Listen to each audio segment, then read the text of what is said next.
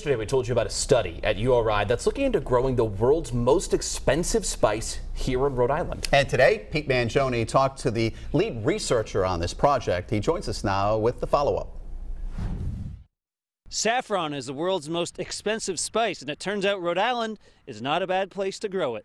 The red color of saffron is almost overshadowed by its surrounding flower.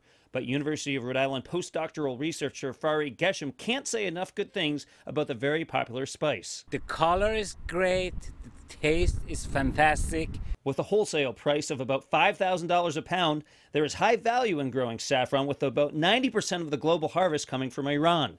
Saffron is not commonly grown in the United States and wasn't grown at all in southern New England until the last couple of years. But saffron is now sprouting up here at URI, and Geshem is leading a research study to weed out the bad methods and plant in the good ones to keep saffron thriving in Rhode Island soils. Although it traditionally grows well in dry soils like in Iran, he says the ocean state does have some advantages. Here we have about six times uh, more organic matter than Iran.